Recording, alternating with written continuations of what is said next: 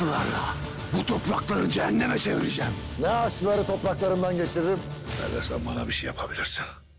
Selamünaleyküm arkadaşlar. Kuruluş Osman mükemmel bir bölümün ardından sona erdi. Osman Bey radikal bir karar alarak tekrar obaya dönmesi gerçekten güzel olmuş ve dizide o eski samimiyet tekrar yakalanmış.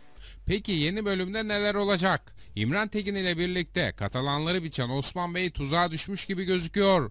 Son anda gelen İmran Tekin'in komutanı aslında Osman Bey'in büyük oyun kurduğunu ve Frankleri kayıların yok ettiğini söyledi. Bunu şu an İmran Tekin'e yetiştirebilecek tek kişi Kayımaz'dı. Muhtemelen yine haberi uçurdu. Osman Bey her ne kadar İmran Tekin ile hareket ediyor gibi gözükse de ona asla güvenmedi ve fazladan önlemini almayı da ihmal etmedi.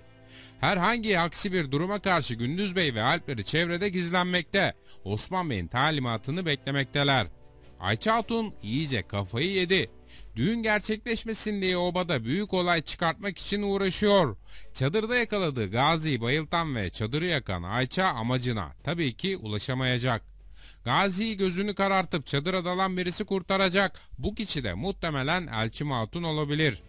Bugünkü videomuzun sonuna geldik. Bir sonraki videoda görüşmek üzere. Allah'a emanet olun.